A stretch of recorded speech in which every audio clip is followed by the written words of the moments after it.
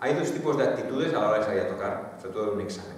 La persona que no quiere equivocarse de notas y la persona que tiene un plan trazado a la cabeza y que quiere transmitir. Tiene unas ideas, tiene... Yo sé que esta hora aquí es el punto culminante, sé que aquí hay un crescendo, sé que aquí es esta imagen, sé que pasa esto, y tiene ganas de salir a tocar para explicar un mensaje. La primera persona que sale a tocar para no equivocarse, lo mejor que le puede pasar. Es lo mejor que le puede pasar. Pero ¿qué pasa? Que como está pensando en no equivocarse, cada nota es un pequeño examen. Do, re, mi, fa, sol, ta, ta, Cada nota es ay, ay, ay, ay, ay, ay, ay, ay, y al final te acabas equivocando. ¿De acuerdo? En cambio, la, pero estás pensando en cada nota. En cambio, la persona que sale a tocar pensando, tengo un discurso, lo voy a hacer, en el fondo está pensando como un director de orquesta, está pensando en bloques. Con lo cual su cerebro está mucho más libre, no está pendiente de cada nota, toca mucho más relajada, ¿de acuerdo?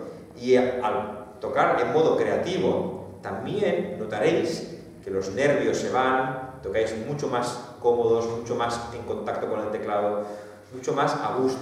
Lo otro es un sufrir, pensar dónde me voy a equivocar y cuál va a ser el momento en que me voy a equivocar. Está, cada vez falta menos para que me equivoque, ¿no? Esto es importante, pensadlo. Entonces, no está de más que cada obra que toquéis tenga un discurso argumental, como si fuese un cuento. Aunque sea un estudio, una invención o imágenes. Por ejemplo, lo que decimos con Julia, con Julia ¿no? de las, trompetas, ¿de acuerdo? Lo que decíamos con, con, con Pau, el efecto de mar, eh, el... O sea, siempre imágenes, imágenes detrás de la música. Y eso hace que conectéis muchísimo más con el que escucha se crea una conexión brutal.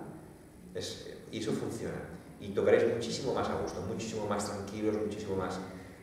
Yo cuando salgo a tocar, muchas veces que tocaré, siempre pienso en esto. O sea, voy a pasar por aquí, voy a pasar por allá, va a haber este momento, va a haber tal, aquí, tal. O sea, no pienso, tengo estas notas, no. Eso ya está automatizado.